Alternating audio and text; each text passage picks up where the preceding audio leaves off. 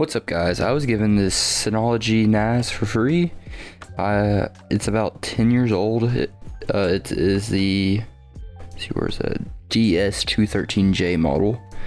It's 12 volts 5 amps, which I don't have the original power supply for. But from reading online, my Netgear power supply right here should work. It is 12 volts 3.5 amps. From what I read, this thing only actually pulls about 2 so hopefully it'll be fine. But yeah, um, as far as I know, this thing works. It has, I opened it up and dusted it off camera, and it had a three terabyte on top. So I'm guessing it also has a three terabyte NAS hard drive on the bottom.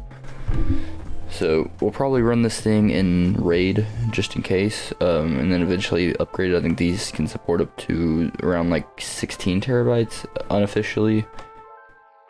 So let's go ahead and plug this in, see if it boots up. It should. Alright. Oh, yep, it has the has some lights on, disc one and two lights.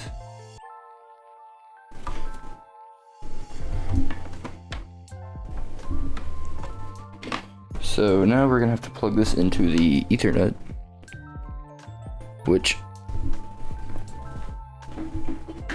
Have to be a little bit off camera because actually no. This is as far as it reaches. So yeah, now the LAN light is on. I think it's close to being done booting up now, so let's go ahead and switch over to OBS and see if anything changes. Alright, what's up guys? I am on the Fujitsu um, Lifebook something something something. So let's go ahead and try to get the uh, software set up for it. See if it pops up.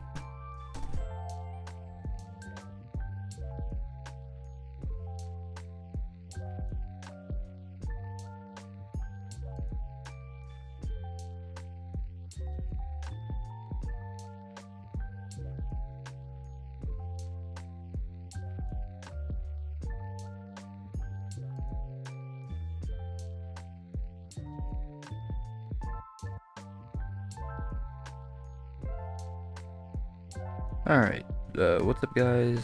I asked him about the password and he gave it to me, so it worked. Next. Admin.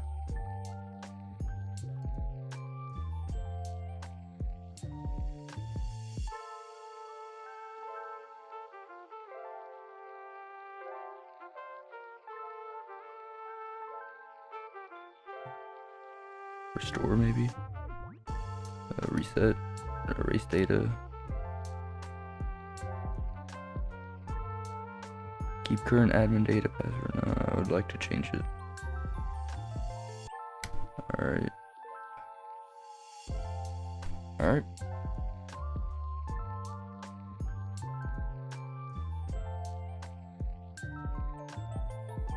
Alright, the timer was on and now it's showing this, so and I just heard the Synology boot up. So I think we're pretty close. See if anything happens.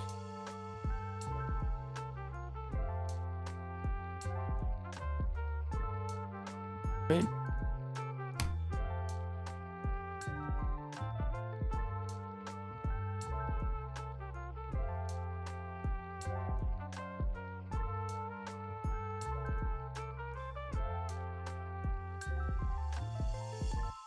Automatically install. Yeah.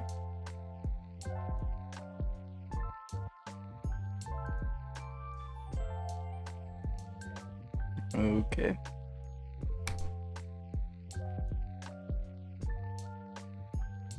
I actually don't know what kind of hard drives are in here, so.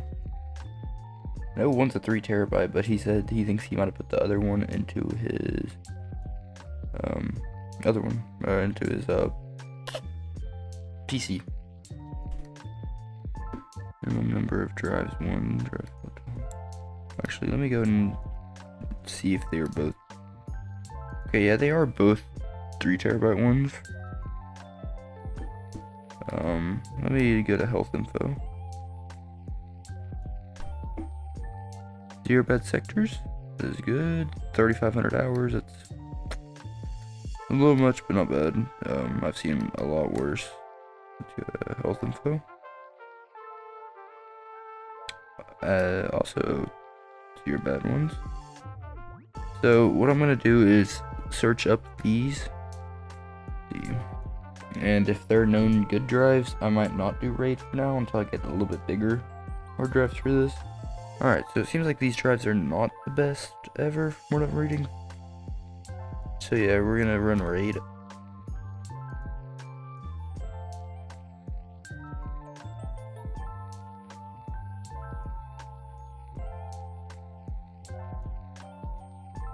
What's up guys, I am back. It did not actually take that long. Um, I was just...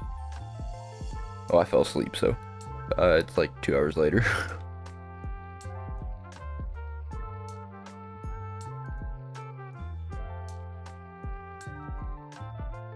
Alright. So, What's up guys, I'm just gonna go and show you all my internet speed, so this would be for the wireless, but not whenever like I'm connected to my computer through ethernet since it's on the same switch. Alright, what's up guys, I'm just gonna go and tell y'all that this is not the way I ended up doing it. I ended up making a folder called pool 1, and then put these folders inside of it so I can edit and create new folders without having to go into this little website OS thing.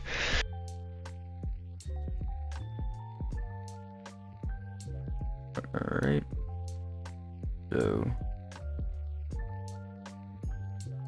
Alright, there's audio files.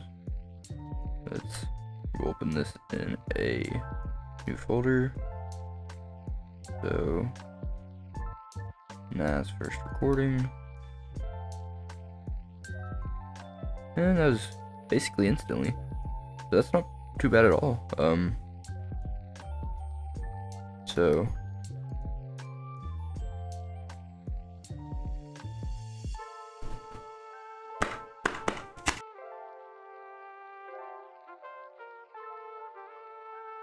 Alright, so I got an SSD that I use to just dump files onto. I have like five of them right now.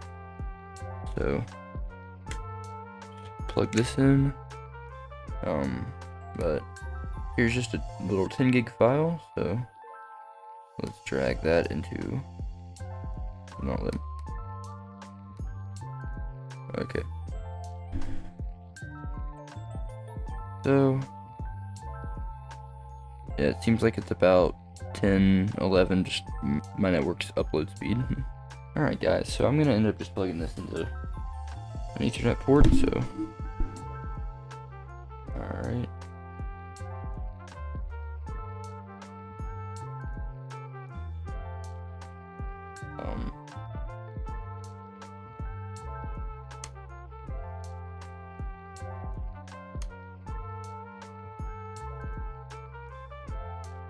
Okay, so yeah, this is um with it on the same switch. If I had better internet, it'd probably be around the same speed anyways, so this is also going from a USB to SATA, just normal 256 gig SATA SSD. Um, I think the read and write's probably around this, to be honest.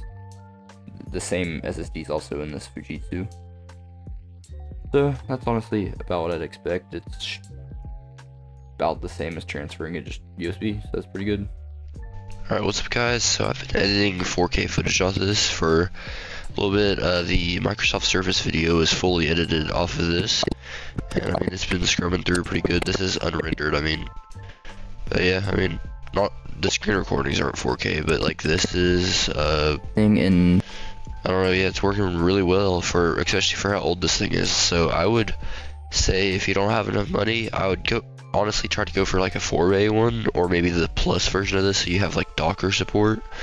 But this has been working really well. I really enjoy Synology. I don't think I'll do anything besides Synology after this. So yeah, uh, this this is very usable in 2025. I'd almost say that I recommend it. So yeah.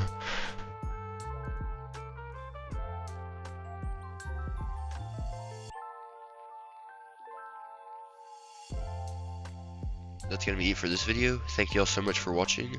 Have a good one. Bye.